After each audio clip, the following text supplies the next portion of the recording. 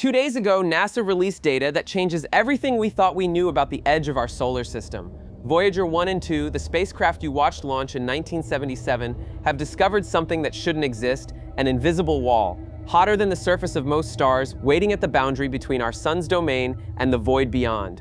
And here's what's keeping NASA scientists awake at night. They have no idea why it's there. Welcome back!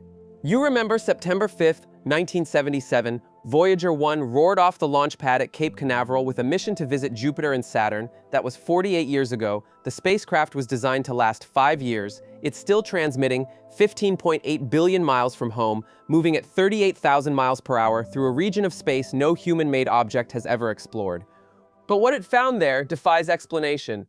Between 2012 and 2018, both Voyagers crossed the heliopause, the official boundary where the sun's influence ends and interstellar space begins. At that precise moment, their instruments recorded something extraordinary, temperatures spiking to 30,000 to 50,000 Kelvin. That's 50,000 to 90,000 degrees Fahrenheit. For context, the surface of our sun, 10,000 degrees Fahrenheit. This invisible barrier is five times hotter, and yet Voyager sailed right through it, completely undamaged, how is that possible? The answer reveals something profound about the nature of space itself. Here's where it gets fascinating. Temperature in space doesn't work like temperature on Earth. Down here, heat means crowded molecules bouncing frantically, transferring energy. Touch a hot stove and billions of molecules slam into your skin. But at the heliopause, the particle density is almost zero, a few atoms per cubic centimeter. Yes, those particles are moving at incredible speeds, that's what creates the extreme temperature reading, but there are so few of them that they can't transfer meaningful heat. It's like being in an oven with only three molecules. Technically scorching, practically harmless. NASA's Jet Propulsion Laboratory confirmed this in their December report. The extreme energy recorded at the boundary does not threaten the probes due to near vacuum conditions. But here's the real mystery. Why does this wall exist at all? The prevailing theory goes like this. Our sun blasts out a constant stream of charged particles, the solar wind, traveling at a million miles per hour. For billions of miles, this wind dominates everything in its path, but eventually it runs into something equally powerful, the interstellar medium. Gas and plasma from ancient supernovae, remnants of dead stars, material that's been drifting through the galaxy for eons. When these two forces collide, they create a shock wave. The solar wind slams on the brakes. All that kinetic energy has to go somewhere, it converts to heat. Extreme heat, that's your 50,000 Kelvin wall. But there's something else Voyager discovered, something that challenges everything we thought about the structure of our cosmic neighborhood. Scientists expected the magnetic field to flip dramatically at the heliopause. Inside our solar system, magnetic field lines run in one direction, shaped by our sun. Outside, in interstellar space, they should point completely differently, shaped by the galactic magnetic field. Voyager 1 crossed. The field stayed aligned.